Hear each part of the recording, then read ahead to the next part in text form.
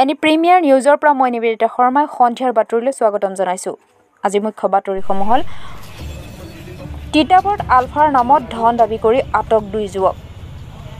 আনহাতে ওপাৰ তাৰাপুঙৰ ধুমুহাৰ তাণ্ডৱত বাৰটা ঘৰ উৰুৱাই নিলে ধুমুহাই। এতিয়া বিতং বাতৰি। তিতাবৰত আলফাৰ নামত ধন দাবী কৰি আটক দুই যুৱক। তিতাবৰ আৰক্ষীয়ে ধৃত জিন্তু হাজৰিকা আৰু অনিল মানকীক আটক কৰে। যোৱা ছয় এপ্ৰিলৰ দিনা মহিমাবাৰীৰ অজিত শইকীয়াৰ পৰা হোৱাটছএপত মেছেজ দি দুই লাখ পঞ্চাছ হাজাৰ টকাৰ ধন দাবী কৰি দুই কিস্তিত দিবলৈ দাবী জনায়। প্ৰথম কিস্তিত ডেৰ লাখ টকা আঠ এপ্ৰিলৰ দিনা সন্ধিয়াৰ অজিত শইকীয়াক তেওঁৰ ঘৰৰ বাথৰুমত ওলমাই থবলৈ কয় আৰু উক্ত টকাখিনি লৈ যায় দুই যুৱকে। বাকী কিস্তি আঠাইছ এপ্ৰিলৰ ভিতৰত দিবলৈ দাবী জনায়। যদি আঠাইছ এপ্ৰিলৰ ভিতৰত বাকী ধন নিদিয়ে তেতিয়া পাঁচ লাখ টকা দিব লাগিব বুলি দাবী জনাই ধৃত জিন্তু হাজৰিকা আৰু অনিল মানকীয়ে। অজিত শইকীয়াৰ পৰিয়ালে আৰক্ষীৰ লগত যোগাযোগ কৰিলে। পৰিয়ালক প্ৰাণে মৰা ভাবুকি প্ৰদান কৰিছিল দ্ৰুত দুই যুৱকে।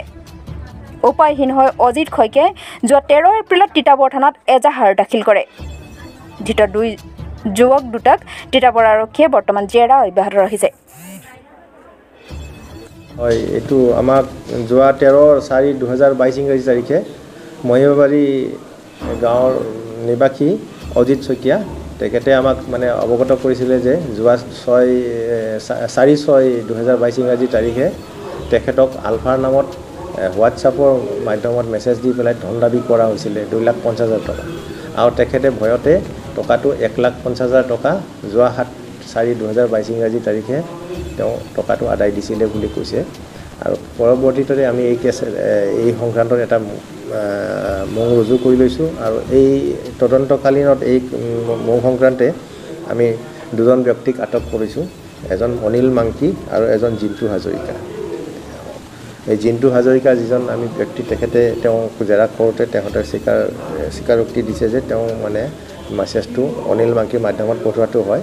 আৰু ইতিমধ্যে তেওঁ স্বীকাৰোক্তিত কৈছে যে তেওঁলোকে মানে বস্তুটো টকাটো সংগ্ৰহ কৰি লৈছে। টকাটো ডেৰ লাখ টকা সংগ্ৰহ কৰা বুলি কৈছে। এইটো বস্তুটো এতিয়া তদন্ত চলি আছে। আশা কৰোঁ আমি হয়তো টকাটো সোনকালে আমি উদ্ধাৰ কৰিব পাৰিম।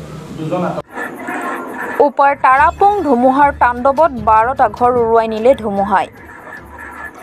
কাৰ্বি আলং জিলাৰ পঁচিছ নং নিলিম পৰিষদীয় সমষ্টিৰ অন্তৰ্গত আপাৰ তাৰাপুং এলেকাৰ প্ৰায় চাৰিটা গাঁৱৰ বাৰখন ঘৰ ধুমুহাই তাণ্ডৱত ভাঙি চুৰমাৰ হ'ল।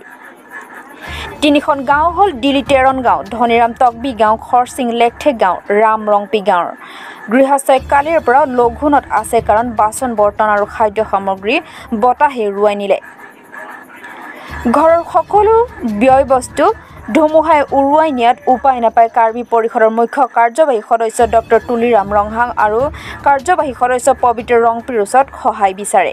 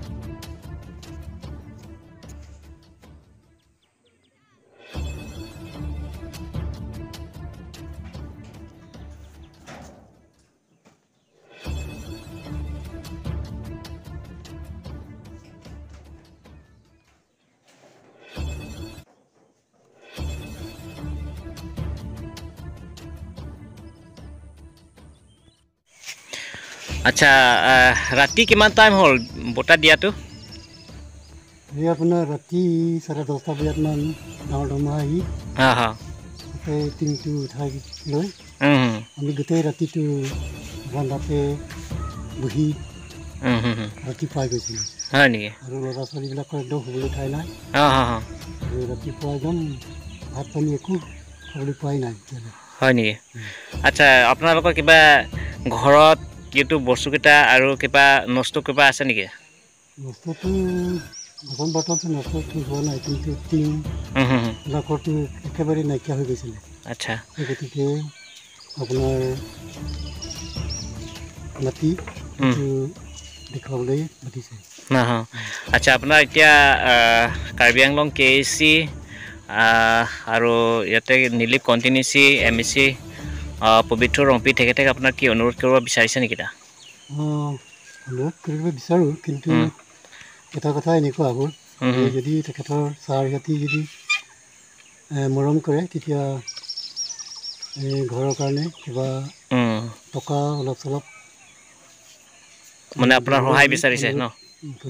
সহায় বিচাৰিছিলোঁ।